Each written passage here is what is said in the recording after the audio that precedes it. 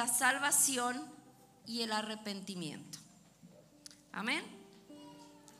Gracias a nuestros pastores por la confianza que ponen en cada uno de nosotros para poder desarrollar ese llamado que el Señor nos ha hecho a predicar su palabra. Amén. Y tenemos responsabilidad siempre de hablar y de compartir la sana doctrina. Amén. Hablamos de salvación y arrepentimiento porque una cosa va ligada con la otra. Amén. Hay muchas falsas doctrinas que hablan acerca de que la salvación es por gracia y se van al extremo de que nosotros no tenemos que hacer nada. Recibí la salvación por gracia y me quedo acomodado hasta que Cristo venga. Amén. Pero vamos a través de la palabra a ver cómo una cosa nos lleva a la otra. Una cosa nos lleva a la otra. El Señor Jesucristo cuando inició su ministerio, cuando empezó a predicar la palabra, lo primero que dijo es, el reino de los cielos se ha acercado. Y no dijo, el reino de los cielos se ha acercado y creyendo, ya está todo hecho. Dijo, el reino de los cielos se ha acercado, arrepiéntase, dijo el Señor, arrepentíos. Vamos a ir a Mateo 4:17, por favor. Si tiene ahí usted su Biblia. Mateo 4:17 dice, Jesús le dijo, escrito está. No, ese no es. No es eso, Samuelito. Perdón. Mateo 4:17.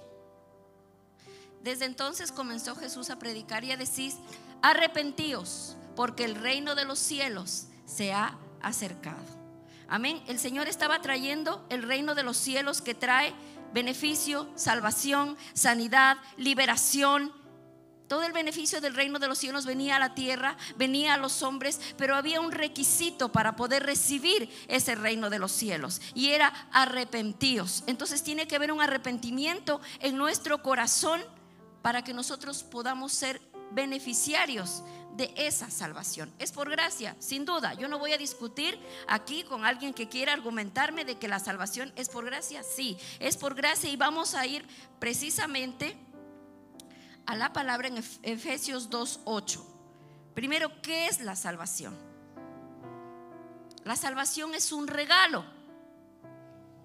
La salvación es un regalo, es un presente que el Señor nos da. No lo merecemos, nadie ni siquiera lo, lo, podría de ninguna manera obtener. No hay forma de obtener salvación por nuestras propias fuerzas, no hay forma de obtener salvación por nuestros propios méritos. No hay obra que nosotros podamos hacer ni caminando con una cruz cargada, con las rodillas peladas, desangrentadas. No hay forma en que nosotros podamos pagar un precio para nuestra salvación no la hay. Entonces efectivamente es un regalo. Por gracia es un regalo, no lo merecíamos. Vamos a Efesios 2.8, por favor. Efesios 2.8. Amén. Y dice la palabra, porque por gracia sois salvos. ¿Por medio de qué? De la fe, por creer. Por creer que Jesucristo vino a la tierra, dio su vida por nosotros y que Él es el Hijo de Dios, alcanzamos esa gracia.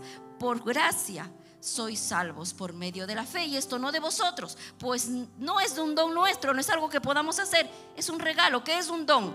Es un regalo.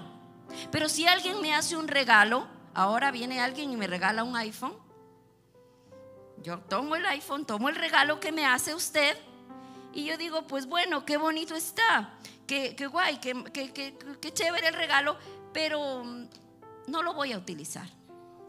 Lo voy a dejar ahí.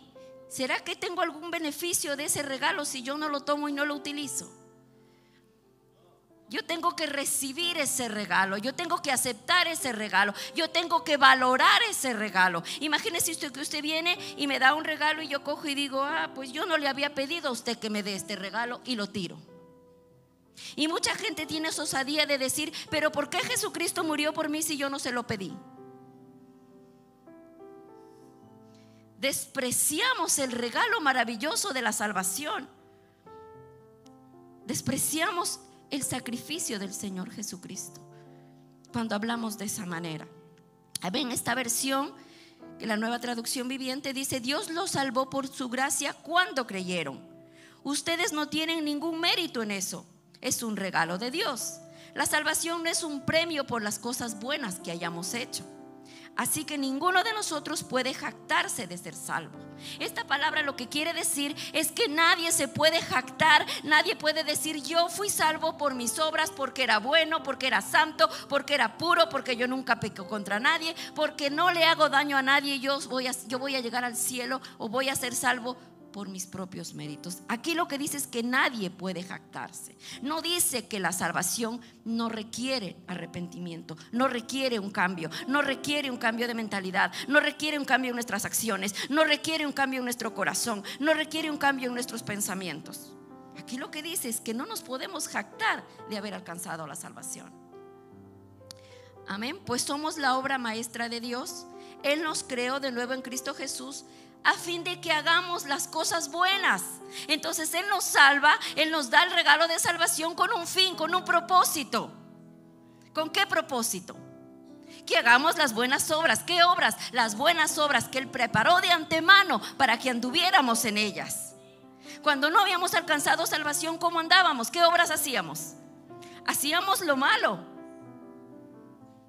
Nuestras obras eran perversas robábamos, mentíamos, adulterábamos, fornicábamos, etcétera, etcétera, etcétera. Y el Señor no nos diseñó, no nos creó, no nos preparó para esas obras. Nos preparó, nos diseñó, nos puso en el vientre de nuestra madre con un propósito y preparó buenas obras. ¿Para qué? Para que anduviéramos en ellas. Pero tuvo que hacer falta que, que aceptemos primero el regalo de la salvación para que recién recibamos el don del Espíritu Santo, que es el produce en nosotros el querer como el hacer su perfecta voluntad. Eso quiere decir el, regalo de salvación. No podíamos hacer buenas obras. Queríamos, por un tiempo decíamos, bueno, voy a dejar de beber. Dejábamos de beber 15 días y a los 15 días otra vez estábamos enganchados en la cerveza. Voy a dejar de fumar. Y al mes o a los dos meses nuevamente se enganchaba al cigarrillo. Voy a dejar de mentir, voy a dejar de robar, voy a dejar esta relación ilícita. Y a lo mejor al tiempo nuevamente en la misma relación. Caíamos en lo mismo. ¿Por qué? Porque en nuestras fuerzas nada podemos hacer. Porque necesitábamos, aparte de recibir ese regalo y esa gracia, recibir también al Espíritu Santo de Dios que iba a nosotros en producir el querer como el hacer esas buenas obras. Amén. Entonces el regalo de la salvación viene con el regalo del Espíritu Santo para que consigamos ese fin que dice la palabra, que hagamos las cosas buenas que Él preparó de antemano para nosotros. Hasta aquí podemos ver cuál era nuestra condición antes de conocer al Señor. Vivíamos bajo maldición, vivíamos atados al pecado, vivíamos en diversas maldiciones generacionales, problemas, situaciones, conflictos, sin saber cómo resolverlos. Amén. Vamos a ir a Filipenses 2.1, por favor. Filipenses 2.1. ¿Cómo estábamos antes de recibir ese regalo de salvación? Dice, antes ustedes estaban muertos. Por tanto, si hay alguna consolación en Cristo, si algún consuelo de amor, si alguna comunión del Espíritu, si algún afecto entrañable, si alguna misericordia, siguiente por favor. Completad mi gozo sintiendo lo mismo, teniendo el mismo amor unánimes sintiendo una misma cosa. Siguiente, por favor. Nada hagáis por contienda o por vanagloria, antes bien con humildad, estimando cada uno a los demás como superiores a sí mismos. Las obras, las buenas obras, el hacer, el hacer lo que el Señor dice sin contienda, sin ira, sin vanagloria, con humildad, es obra del Espíritu Santo en nuestra vida. Es una obra, es un proceso, es una transformación. Venimos a la casa del Señor a servirle. ¿Cómo le servimos? Unánimes, con amor, con agradecimiento. No hacemos nada por contienda, ¿a que no? No hay rivalidades, no hay molestia cuando nos llaman a servir. No nos ofendemos porque nos llaman a servir cuando no nos toca. Y así nos toque peor. ¿Quién hace eso? ¿Quién produce en nosotros? Nosotros mismos. Eso produce el Espíritu Santo de Dios en nosotros. Ese querer, ese, esa, esa, ese libres de contienda, ese no darme la vanagloria a mí mismo. Antes bien con humildad, estimándonos unos mejores que otros. No creyendo yo soy el mejor, sino estimando al otro, dice incluso por encima de mí mismo. Esa humildad, ¿quién la produce? Cuando llegamos a la casa de Dios, cuando llegamos a la iglesia, en el pecado que estábamos envueltos, ¿cuál era nuestra condición? ¿Teníamos esa humildad? ¿Teníamos esa sencillez? ¿Esa unidad en el espíritu? ¿O nos peleábamos y discutíamos por el vaso, por la servilleta, por la sal, por la olla, por el arroz que lo hiciste y lo quemaste? Entonces hay una obra, hay un trabajo que nosotros tenemos que hacer juntamente con el Espíritu Santo. No es que yo ya soy salvo, siempre salvo, como dicen por ahí, y me siento a ver Netflix porque yo ya soy salvo y no tengo nada que trabajar en mí. Porque somos justificados por la fe, pero seremos condenados por nuestras obras. Hay un juicio final, hay un momento en que estaremos frente al trono de juicio de Dios, el santo, el justo juicio de Dios, dice la palabra. Y en ese momento el Señor nos va a decir, ah, bueno, tuviste fe, creíste y estuviste todo el tiempo haciendo lo que te dé la gana. Pasa, buen siervo fiel. Dice, por sus obras serán condenados o por sus obras serán justificados. Hay un trabajo que hay que hacer. Hay un esfuerzo que hay que hacer. Un regalo es gratis, sí, pero ahora nosotros tenemos que caminar en esas buenas obras en las que el Señor nos ha llamado a caminar. Amén. Y dice la palabra que en ese tiempo, cuando estábamos perdidos, éramos, dice, objeto de enojo de Dios. Lo que causábamos era enojo del Señor con nuestras obras. Y ahora que estamos en el Señor, y ahora que ya alcanzamos esa salvación, ahora que tenemos al Espíritu Santo de Dios, nos confiamos de que nuestras obras son realmente agradables a Dios. Si nos examinamos cada uno de nosotros, podemos estar seguros de que nuestras obras son agradables al Señor. Hacemos con queja las cosas. Nos fastidiamos de servirle a Dios. O lo hacemos por gratitud y por el amor que lo hizo por nosotros. Amén. Vamos a Ezequiel 36, 27, por favor. Ezequiel 36, 27. Dice el Señor. Entonces una vez que alcanzo la salvación, yo tomo el regalo de la salvación, acepto al Señor Jesucristo como mi Señor y Salvador que viene a continuación. Dice el Señor, y pondré dentro de vosotros mi espíritu y haré que andéis en mis estatutos y guardéis mis preceptos y los pongáis por obra. Entonces las obras son importantes. El Señor demanda de nosotros buenas obras. ¿Estamos de acuerdo? Yo te regalo la salvación y pongo mi espíritu dentro de ti para que no te justifiques diciendo que mis fuerzas no lo puedo hacer. Pongo mi espíritu dentro de ti para qué? Para que camines, para que andes. ¿Qué es andar? Caminar. Es un verbo, es una acción. Algo hay que hacer. Ya recibí al Espíritu Santo, ya recibí el don, soy salvo, siempre salvo por la fe en el Hijo de Dios y me quedo parado, sentado y no hago nada. Que el Señor ya lo hizo todo por mí. ¿Para qué yo me voy a molestar si el Señor ya hizo por mí? El Señor dice, yo te salvé, te di la salvación, te puse mi espíritu dentro de ti. ¿Para qué? Para que camines en mis estatutos, para que guardes mis mandamientos y los pongas por obra. Sí, te salvé, pero ahora tú tienes que trabajar. Te salvé, pero ahora tú tienes que esforzarte por hacer las buenas obras que sin salvación no podías hacer. No había sacrificio capaz de salvarte, te manda el sacrificio. En tu fuerza no puedes hacerlo, el Espíritu Santo te ayuda. Entonces ahora ya no pongas pretextos. Ahora camina, ahora anda, ahora guarda mis mandamientos, guarda mis preceptos. Ahora que tienes mi espíritu, guarda mis estatutos. Ahora sí, pon por obra mi palabra. Amén. Vamos a Romanos 2.4, por favor. Romanos 2.4. Ya vimos que en el Antiguo Testamento el Señor nos está hablando de que va a enviar el Espíritu Santo y lo va a poner y nos va a hacer guardar sus mandamientos. En el Nuevo Testamento, en Romanos 2.4, dice la palabra, o menospreciáis las riquezas de su benignidad.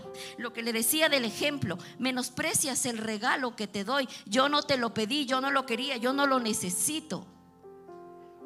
Dice el Señor, o menospreciáis las riquezas de su benignidad, paciencia y longanimidad. ¿Cuánta paciencia nos ha tenido el Señor?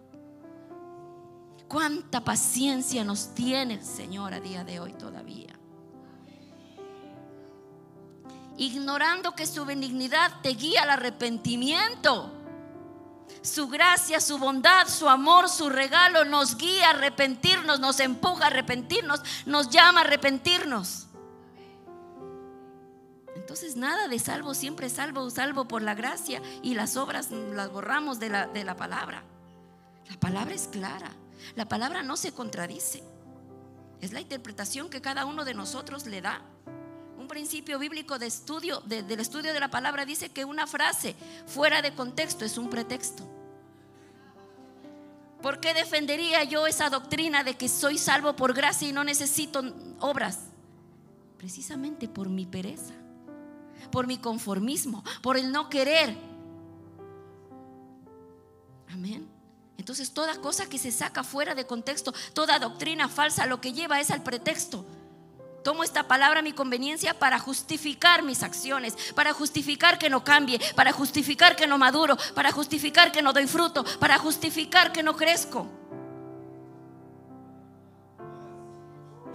Pero la palabra de Dios me exhorta y me dice, no te das cuenta, estás despreciando el regalo maravilloso de la salvación, la paciencia que el Señor te tiene cuando Él lo que está haciendo es guiarte al arrepentimiento. Amén. Vamos al libro de Hechos 2.38. Hechos 2.38. Y sigue predicando. El Señor Jesucristo dijo, el, cielo de los, el reino de los cielos se ha acercado, arrepentíos. Y luego los apóstoles que tomaron esa posta de la predicación del Evangelio, de la sana doctrina, ¿qué fue lo que dijo el apóstol Pedro? Cuando empezó a predicar. Dijo, Pedro les dijo, arrepentíos Arrepiéntase y haga algo. Arrepiéntase y bautícese. No espere. No, yo espero a que cambie, a que madure, a que pase el discipulado 4, 8, 24, 4 retiros, 60 institutos bíblicos, me pongan de líder, me unjan como pastor, entonces me voy a bautizar. Arrepiéntase y bautícese. ¿Qué es el bautismo? Dice el pastor. El bautismo es muero a mi vieja naturaleza. Tomo una decisión. El bautismo es el compromiso que yo hago con Dios de servirle. Es como el novio que le pide a la novia la mano. Yo quiero que seas mi novia, pero quiero los beneficios del noviazgo, pero no me quiero comprometer contigo. Lo mismo es el regalo de la salvación cuando lo tomo. Yo quiero la salvación, quiero la vida eterna, quiero la bendición, quiero el buen empleo, pero yo no me quiero bautizar porque eso es mucho compromiso. ¿Cómo le sentaría a usted, jovencita, mujer que está aquí, que venga el joven que a usted la pretenda y le diga, quiero el beneficio, pero yo no quiero compromiso. ¿Cómo se siente usted? Es lo que le hacemos a nuestro amado Padre Celestial. Sí, gracias, qué bonito. Jesús murió por mí. Uy, qué bueno, cuánta nobleza junta. Le agradezco, Señor Jesucristo. Recibo esa salvación, pero yo no me quiero bautizar. Yo no me quiero comprometer. Yo no quiero compromiso. Yo no quiero liderazgo. Pastor, yo no quiero que me ponga a hacer nada. Yo me siento ahí porque yo ya soy salva. No quiero servir. No quiero prepararme. No quiero hacer porque ya el Señor Jesucristo lo hizo por mí. Y a propósito de bautismo, como dijo pastor, ahora entre, entre col y col, dice papá, una lechuguita. En el mes de junio hay bautismos. Así que si usted ya recibió al Señor Jesucristo en su corazón, si usted recibió ese regalo precioso de la salvación y usted ha estado vacilando, dudando y ahora, ¿cuándo me bautizaré? Algún día ya lo haré, ya me decidiré, este es el momento. Así que antes de irse esta mañana de aquí, usted va a pasar por la parte de atrás y le va a decir a Pastora Aura, apúnteme que yo he recibido en esta mañana la palabra y si el Señor Jesucristo dijo que me arrepienta, lo siguiente que tengo que hacer es bautizarme. Si usted no se quiere bautizar es porque usted no se arrepintió todavía. Porque están de la manito, están juntos, están pegados. Se da cuenta que usted está en el mismo versículo. Arrepentíos y bautícese. ¿Por qué? Porque el Señor Jesucristo cuando le dio la, gran comisión le dijo, id por todo el mundo y predicad el Evangelio, haciendo discípulos a todas las naciones y bautícenlos. No dijo, llamen gente, traigan gente, inviten gente, invasión del amor de Dios, tráigalo, siéntelo, dele de comer en la silla, que se vaya a su casa y que siga igual. Dijo, vaya, llévalo, tráigalo y métalo en el bautismo. Apúntenlo en el bautismo. Llévelo en el coche hasta el río y métalo al agua.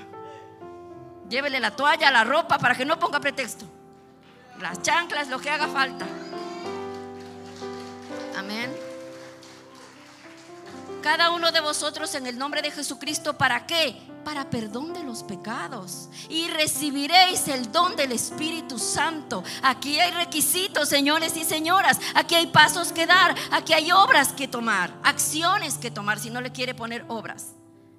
Acciones que tomar recibo el regalo, me arrepiento y me bautizo, entonces recibo perdón de mis pecados porque yo estoy demostrándole al Señor que tengo un compromiso con Él. Él me pide que me bautice. ¿Dónde está la piscina? Bautíceme, pastor, ahí en el grifo del baño. ¿Ha tenido algún día, papá, un desesperado que le diga, pastor, que impide que usted me bautice ahí si es posible en el grifo? Écheme agua. Esa debería ser nuestra desesperación. ¿Dónde están los ingenieros, los arquitectos, los constructores de la iglesia? Que hagan una piscina, aunque sea ahí en la esquina. Una poza de agua para que cada domingo la gente venga, reciba la palabra y diga, bautízame. ¿Qué impide que yo me bautice? ¿Qué impide que yo me bautice? La he recibido, me arrepiento. Yo quiero ese compromiso, ese amor con mi Padre. Yo quiero seguir caminar. Quiero recibir perdón de mis pecados y quiero recibir enseguida el Espíritu Santo de Dios. No me voy de aquí sin el Espíritu Santo. ¿Se imagina usted si nosotros tuviéramos esa desesperación? ¿Cómo sería la iglesia en España? Si nosotros que somos hijos tuviéramos esa desesperación, ¿Usted cree que las almas estarían por ahí perdidas? Pero si nosotros mismos estamos aquí vacilando, ¿cuántos hay aquí que no se hayan bautizado aún? No levante la mano, que sea para usted exhortación. ¿Cuánto tiempo lleva en la congregación? ¿Qué está esperando? Ayer en el instituto hablábamos con los estudiantes y hablábamos acerca de esto, que hay mucha gente que piensa y dice, bueno, ya tendré oportunidad de arrepentirme, ya tendré oportunidad de bautizarme. Y decía uno de los estudiantes que él era así, que pensaba así, que cuando era jovencito él pensaba así. Andaba metido en pandillas, andaba metido en relajos, en, peleas. Y decía que él pensaba en algún momento ya, el día de la muerte, en ese momentito voy a, voy a, voy a arrepentirme. Y dice que se vio enfrentado a la muerte. No recuerdo ahora mismo cómo fue que se vio enfrentado a la misma muerte y dice que en ese momento lo que él recuerda es haberse quedado en blanco. O sí que se iba, no había oportunidad de arrepentirse. Es mentira que va a tener oportunidad de arrepentirse. El momento en que se fue, se fue. Y se acabó la oportunidad. Este es el día. Hoy es el día. Este es tiempo de salvación. Dice el Señor que Él le busquemos mientras Él pueda ser hallado. En tiempo de gracia.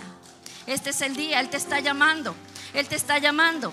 Yo le oraba al Señor esta mañana, cuando hagamos el llamado, que no seamos nosotros, que no sea yo, que no sea el que predique, que sea tu Espíritu Santo, Señor, el que llame, convenza de pecado, Señor, y traiga el arrepentimiento genuino a nuestro corazón. Amén. Entonces usted va a salir de aquí decidido a apuntarse a ese bautismo, decidido a recibir el perdón de pecados, recibir el Espíritu Santo para que pueda caminar en buenas obras. Si hasta ahora se le hacía difícil dejar a la mujer ajena, si hasta ahora se le hacía difícil dejar de robar en la empresa, si hasta ahora se le hacía difícil mentirle al pastor, este es el día. Que reciba el don del Espíritu Santo para que lo pueda hacer, para que lo podamos conseguir. Lo que no podemos en nuestras fuerzas, con la ayuda del Espíritu Santo lo conseguimos. Amén. Vamos a Jeremías 17:5. Jeremías 17:5. Así ha dicho Jehová.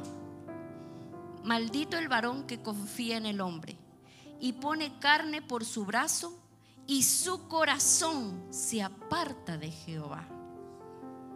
Iglesia que se encuentra en este lugar. ¿Qué dolor hay en el corazón de los pastores? Del Señor primeramente y de la persona que como líder suyo le está acompañando ese proceso de santificación. Que usted por un conflicto que tenga con un hermano, un malentendido, una mala cara que le pusieron, dígame voy de la iglesia y no vuelvo más. Usted no se aparta de su hermano, porque usted si le cae mal el hermano, pues no se sienta ahí, se sienta al otro extremo. Pero usted cuando se va de la iglesia, usted de quien se aparta es del Señor y pone su confianza en sus sentimientos, pone su confianza en sus emociones, pone su confianza en lo que el otro le dijo, el que le contamina, el que le critica, el que le murmura a su pastor, a su líder. Y dice la palabra, maldito el varón que confía en el hombre y pone su carne por su brazo y su corazón se aparta de Jehová. Tenemos que tener temor de Dios, de abrir nuestra boca y decir, me voy de la iglesia así tan livianamente. Entienda que el enemigo lo que hace es conseguir su propósito de apartarnos del Señor. Porque cuando estamos lejos, cuando estamos fuera, es mentira que yo en mi casa oro cuatro horas, en mi casa ayuno sola, en mi casa leo la palabra, en mi casa soy un ángel y soy... Es mentira porque el Señor nos ha mandado a congregarnos para no enfriarnos. Si así congregándonos estamos como estamos, imagínense si no lo hacemos. Si congregándonos cada semana venimos y lija con lija y estamos ahí en la discutidera y estamos en el desánimo, imagínese si no lo hacemos. Eso es mentira, el enemigo nos come cuento. No se preocupe, pastor, yo en mi casa veo la prédica. Agarro el teléfono, me conecto a Facebook, voy a buscar Centro Apostólico Cristo viene. Ah, no, todavía no está la prédica, me voy a TikTok. Hasta que pongan la prédica me voy a TikTok. Uy, ¿qué hora es? Las 3 de la tarde, ya me entró hambre. El enemigo nos, toma el pelo muchas veces. Dice la palabra, no ignoréis las maquinaciones del maligno. No ignoréis las maquinaciones del maligno. Si usted tiene un conflicto, si usted tiene un problema, solucionelo. Todos tenemos conflictos, todos discutimos, todos tenemos un mal día y nos levantamos con el pie al revés y discutimos un día con alguien por la nada. ¿Qué es lo que tenemos que hacer? Acercarnos y arreglar el problema, el conflicto, no darle lugar al diablo para apartarnos del Señor. Nos trae maldición a nosotros mismos, maldición a nuestras generaciones y todo lo que hemos conseguido cae por tierra. Amén. Siguiente verso, por favor. El 6.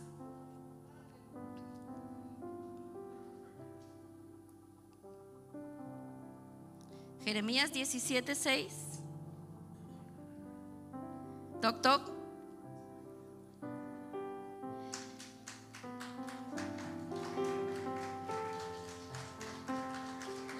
Amén. Mire lo que le pasa al que se aparta de Jehová.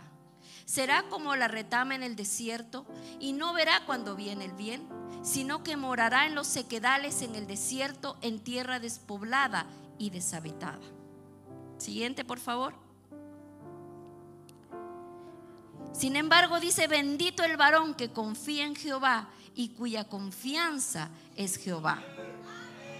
El 8, por favor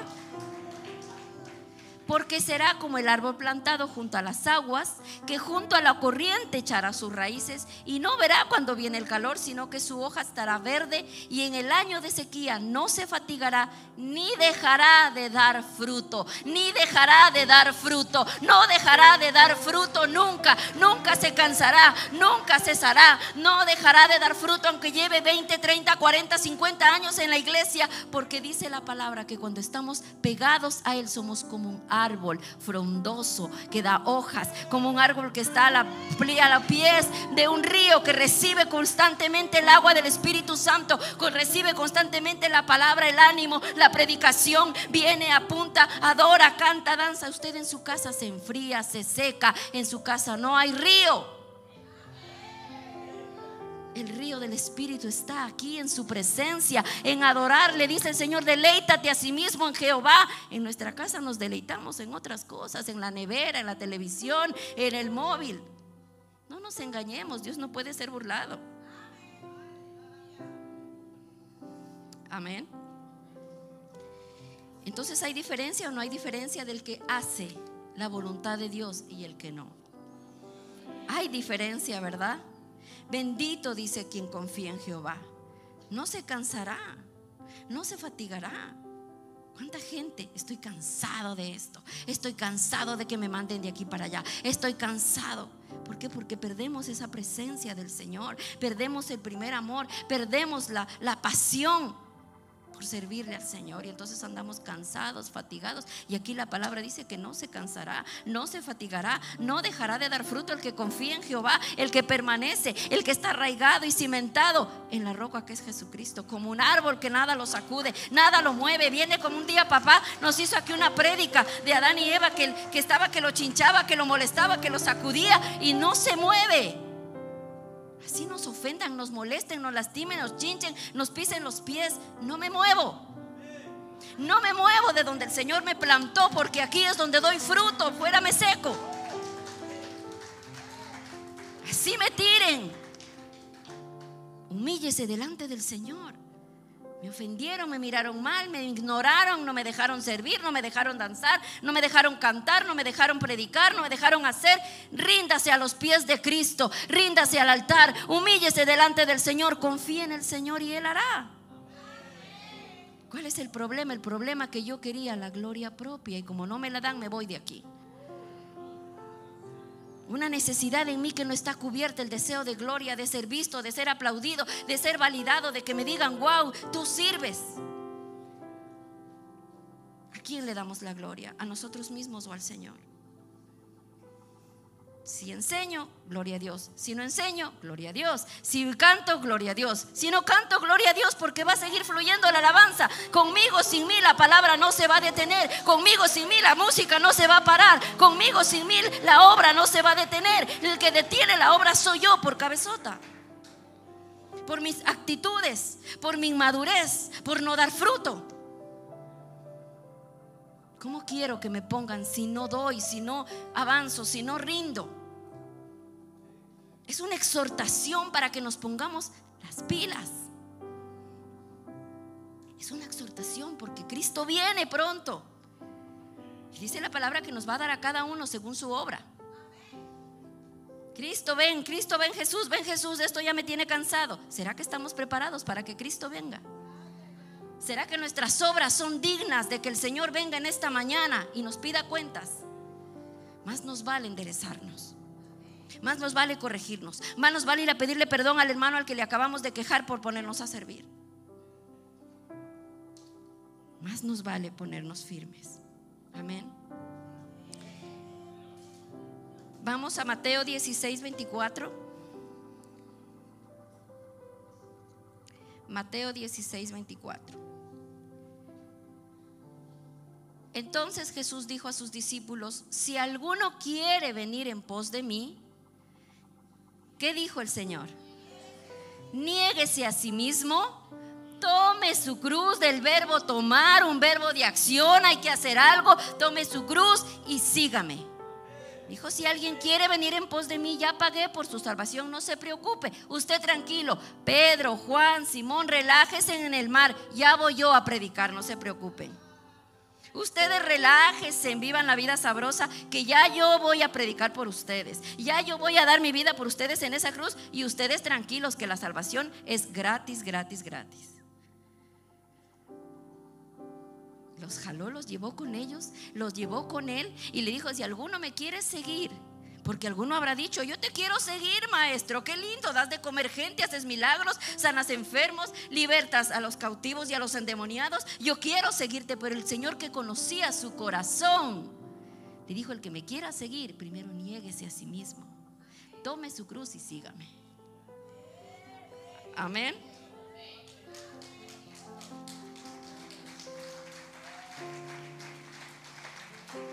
Dice el siguiente, el 25, por favor. Porque todo el que quiera salvar su vida, la perderá. Y todo el que pierda su vida por causa de mí, la hallará.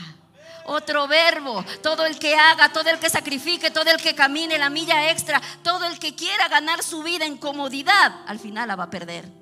Va a perder la salvación. La salvación no se pierde, hermana, que dice, va a perder el regalo que le di. Si usted no pone acción, si usted no toma acción, usted va a perder su vida si quiere salvarse, si quiere acomodarse, si quiere justificarse, al final usted va a perder lo más grande que es la salvación. Porque dice más el que pierda. ¿Qué quiere decir el que pierda su vida? Sus planes, su agenda, su comodidad, sus objetivos que tenía por causa del Evangelio por causa de la obra, por causa de mí, dice el Señor, la hallará. Siguiente, por favor. Porque ¿qué aprovechará el hombre si ganara todo el mundo y perdiere su alma? ¿O qué recompensa daría el hombre por su alma? ¿Qué precio podemos ponerle nosotros a nuestro rescate? ¿Será que podemos pagar por, nuestra alma una vez que perdamos esa tremenda salvación? ¿Habrá precio que podamos pagar? ¿Habrá sacrificio que podamos hacer? Si hemos pisoteado la sangre de Cristo Jesús. Si hemos pisoteado el regalo de la salvación. ¿Habrá algo que podamos hacer para recuperarlo? Arrepentirnos. Es lo único que podemos hacer. Amén. Siguiente, por favor, 27. Dice, porque el Hijo del Hombre vendrá en la gloria de su Padre con sus ángeles. Y entonces, ¿qué dice? Pagará a cada uno conforme a su fe. No, no dice conforme a su fe.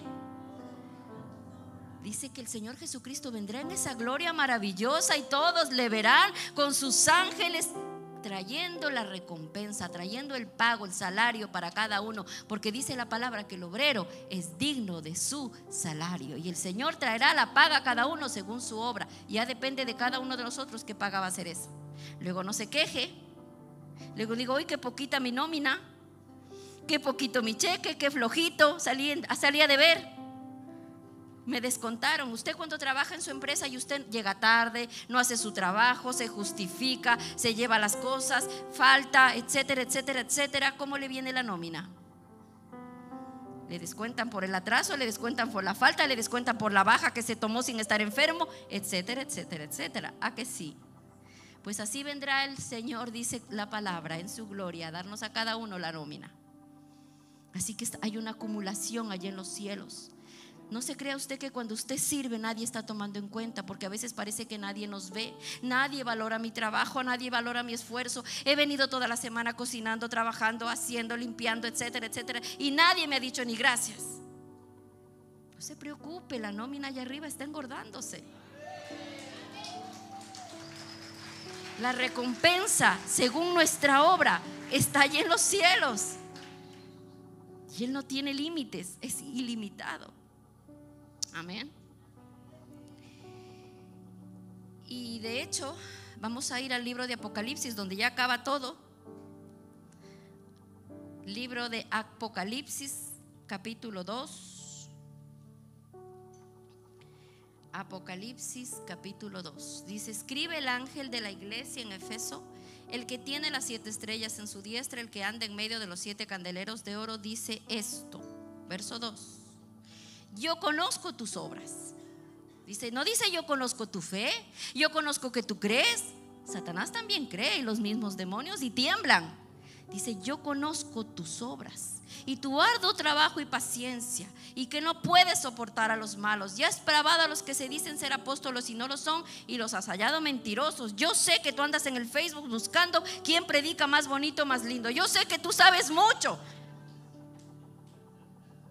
Siguiente y has sufrido y has tenido paciencia. Has limpiado la iglesia, has madrugado a las 5 de la mañana, has limpiado la alfombra, los baños, traes el producto de limpieza, pones guantes, pones papel, traes servilletas de tu casa si es posible. Yo conozco todo lo que haces, yo sé todo lo que haces, yo no soy ajeno a tu servicio. Y has trabajado arduamente por amor a mi nombre y no has desmayado. Siguiente. Pero tengo contra ti que has dejado tu primer amor. Que haces, que trabajas, que vas, que vienes, que cargas, que cocinas, que compras, que llevas, que traes, pero te vives quejando. Vives protestando. Te vives victimizando. Tengo contra ti que has dejado tu primer amor. Siguiente, por favor, el 5. Recuerda, por tanto, de dónde has caído, dice el Señor, y arrepiéntete y haz las primeras obras. Pues si no, dice, vendré pronto a ti y quitaré tu candelero de su lugar. Quitaré el privilegio que te di de servirme. Es un privilegio que te estoy dando. No te das cuenta que en el Antiguo Testamento no cualquiera podía servirle al Señor en su casa. Si usted no es un sacerdote, usted no podía ni siquiera coger la mopa. Ni el vaso, ni la copa, ni la santa cena, ni nada. El candelero es ese lugar de privilegio que nos ha dado el Señor de servirle, sea donde sea, no pastores, que si a mí no me pone de pastor, eso no es servicio. Eso no me honra, eso no honra al Señor.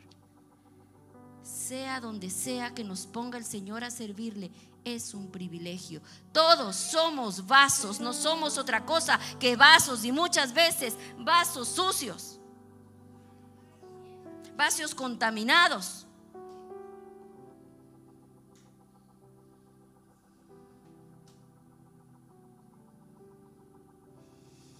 Amén. Entonces dice el Señor en el Apocalipsis que nos arrepintamos y volvamos a hacer nuestras primeras obras para que no sea quitado el privilegio que nos ha dado de servirle. Porque dice que si no te hubieras arrepentido, ese lugar de privilegio que el Señor nos ha dado, no valoramos, no valoramos lo que tenemos. Todo nos cansa, todo nos molesta, todo nos, nos cae mal. No sabemos el privilegio que tenemos en esta casa, porque desde que usted llega, a usted se le invita a una casa de paz, a un encuentro con Dios, a que se bautice, a que reciba palabra cada semana, a que venga al discipulado, al que se entrene, al que vaya a un retiro, al que sea liberado, sea sanado, sea restaurado y empiece a caminar en esas buenas obras que el Señor Jesucristo preparó de antemano para nosotros. Es un privilegio, amados hermanos. Es un privilegio llevar ese trajecito blanco con blusa verde para que usted pueda cantar y su preciosa voz al Señor. Es un privilegio sentarnos en esas primera, segunda, tercera fila como líderes de Casa de Paz, entrenándonos para cumplir nuestro llamado. ¿Quién daba un peso por nosotros cuando llegamos a la iglesia? Nadie. Por lo menos yo cuando llegué a la iglesia me desecharon. No aquí en el mundo. Yo vine desechada con una maletita en la mano sin tener para dónde aquí y aquí me acogieron. Aquí me dieron amor, aquí me dieron cuidado, aquí me sanaron, me ministraron, me llevaron a 400 retiros. Me llevaron a un río engañándome que íbamos a ir a pasar una tarde guay en, el río y ahí me metieron. Para abajo que vas, ahí me dejó un buen rato. Arrepiéntete. Me han ayudado, me han amado, han confiado en ti. He pecado, he caído, me he tropezado una y otra vez. Y con esa paciencia que dice el Señor, que su benignidad nos lleva al arrepentimiento. No para que nos acomodemos y sigamos igual, sino para que nos arrepintamos precisamente. Con cuánta paciencia, con cuánto amor, con cuánto cuidado. Me revelo, me voy, me voy para Valencia, me voy para otro lado. Me caso ahora con un incrédulo. Hago lo que me da la gana. Hija, arrepiéntete. Entiende quién eres, tienes un lugar, vales mucho, tú vales la sangre de Cristo. Y no entendía, y no lo entendía, y no lo entendía. Tenía la chola que dice papá bastante dura. Pero la paciencia del Señor, el amor del Señor, ¿a qué nos lleva? Al arrepentimiento para que podamos caminar en esas buenas obras. Y el pastor pregunta nuevamente que si el Señor ya pagó por mis pecados, entonces como ya está pagado yo puedo seguir pecando. Total, el pago ya está hecho. Así funciona. ¿Cómo dice la palabra? Seguiremos pecando. ¿Cómo seguiremos pecando? Pisoteando la sangre de Cristo. Antiguamente tenía que ponerse por los pecados. El sacerdote tenía que llevar el borreguito para sacrificarlo, para que sean perdonados los pecados del pueblo. Pues imagínese usted cada semana aquí uno con su borreguito por la puerta.